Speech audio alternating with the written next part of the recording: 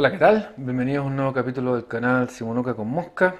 Hoy día voy a hacer un review sobre las radios para radioaficionados Baofeng, que son las que tengo acá. Las dos son iguales y es el modelo V5R de Baofeng. La ventaja que en el mercado tiene varios repuestos, son baratas, son bastante buenas incluso soportan la humedad, la lluvia, no son contra agua, pero para las personas que pescamos y estamos cerca de un río, un lago o nos toca vivir ciertas inclemencias del tiempo, son ideales porque, como les repito, son contra agua. Este modelo en particular, el V5R, soporta la banda VHF y UHF, además de tener radio FM. Como pueden ver, algunas cosas las habla, tiene pantalla retroiluminada, además de tener linterna, modo strobe de la linterna y radio FM. Si ven en el despliegue, pueden observar que tiene dos, el superior y el inferior. Los que están en pantalla son los que se escuchan, pero el que tiene la flecha es por donde yo peteteo. Petetear es el botón push to talk, del inglés apretar para hablar, y en este caso ya la tengo programada.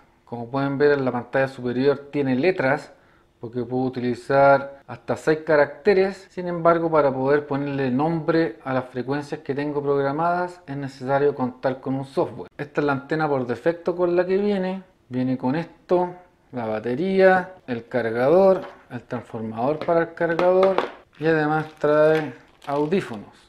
Los audífonos se insertan en este lugar de acá que también se utiliza para programarla. Pero si dejamos esto a un lado, esto es más o menos lo que viene en la caja. Yo a lo largo del tiempo me he ido comprando algunos accesorios, como por ejemplo esto, que lo venden en eBay. Voy a dejar link a todos estos objetos en la descripción del video por si están interesados. Lo que me permite utilizar la base para cargar la radio mientras estoy viajando en el auto o con el sistema de paneles solares GoPro Zero. Le hice un review hace un rato, también voy a dejar un link aquí o un link acá. Lo otro que compré obviamente es el cable de programación. Pues voy a hacer un video en detalle cómo utilizar este cable. Voy a dejar un link acá abajo donde comprarlo y cómo utilizar un software gratuito para programar estas radios. La ventaja de ese software es que permite programar no solamente este tipo de radios, sino que varias radios más. Y como pueden ver también se le pueden comprar distintas antenas. Esta me la regaló, me la regaló un colega del club de radioaficionados de Chuquicamata. Esta, la mayoría de las cosas las he comprado, si no todas, por eBay. La ventaja de esta antena es que cuando tengo la radio en el cinto me molesta menos.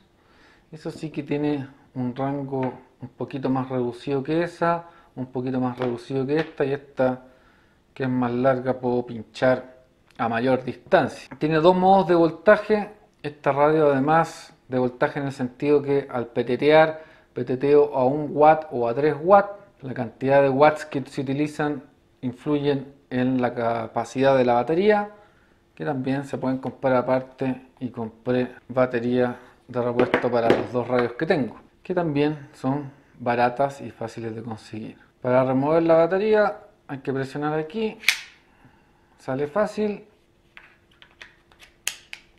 y después insertarla de nuevo no cuesta nada. Estas son baterías originales. Incluso hay un pack extendido que hace que no tengamos que cargar o podemos utilizar la, radio por más tiempo sin tener que cargarla. Con conversar sin conversar más o menos la batería original debe estar durando unas 24 o 48 horas con la radio prendida sin conversar y conversando eso se reduce más o menos a la mitad dependiendo de la cantidad de veces que hablemos o el largo total por el que hablemos. El volumen y el encendido es acá. El mensaje bienvenida, no sé si lo pueden ver, también se puede programar con el software de programación, no se puede programar acá, sin embargo esta radio, la mayoría de las cosas que no son ingreso de texto, se pueden programar aquí en el menú. Se puede programar que se bloquee, incluso con el software uno puede darle un poco mayor de rango de frecuencia. Sin embargo, quiero recordarles que a los radioaficionados que las frecuencias autorizadas aparecen en su carnet de radioaficionado, en su licencia de radioaficionado, en la parte de atrás. Bueno, mi licencia vence el 2020 y aquí aparecen las frecuencias autorizadas y las potencias. Por lo tanto, si van a mover las frecuencias por las que puedo hablar con la radio, tienen que asegurarse de que estén autorizados por la Subtel para operar en esas bandas o en esas frecuencias.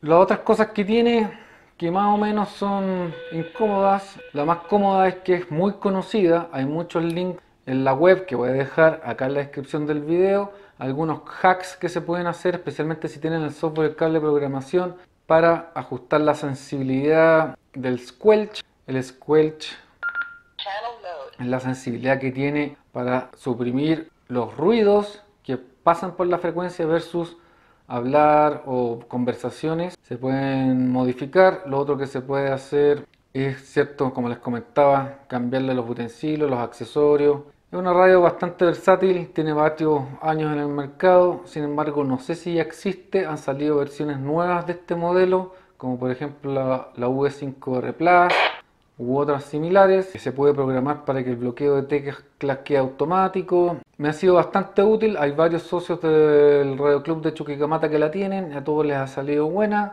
Lo otro es el precio, que ya han pasado sus años desde que la compré y han bajado por lo menos unos 10 mil pesos. Ahora se pueden conseguir en 25, 24 mil pesos en eBay o en AliExpress, lo que, hace, lo que lo hace barato para tener un par de radios para poder conversar con nuestros partners de pesca, porque para eso es la que yo lo uso, o cuando ando viajando, siempre ando trayendo una por si las moscas, cuando ando en la, cuando voy a la oficina igual, recuerden que cuando Hubo el terremoto del 2010, todos los celulares se cayeron, etcétera. Sin embargo, con esta radio uno puede estar enterado de qué está pasando y conversar con otros colegas radioaficionados para no solamente enterarse de lo que está pasando, sino que también muchas veces para prestar ayuda. Es una buena alternativa, hay otros modelos, obviamente modelos más caros como la Yaesu, son radios japonesa, obviamente otro pedigree, pero a la fecha no he tenido problemas con este modelo, ni de calentamiento ni de nada. Hay algunas observaciones en la red, a algunas personas se les calienta un poco la batería, como les digo, yo no he tenido ningún problema. Lo otro que soporta Vox, Vox quiere decir que no necesito petetear, sino que para cierto volumen del hablar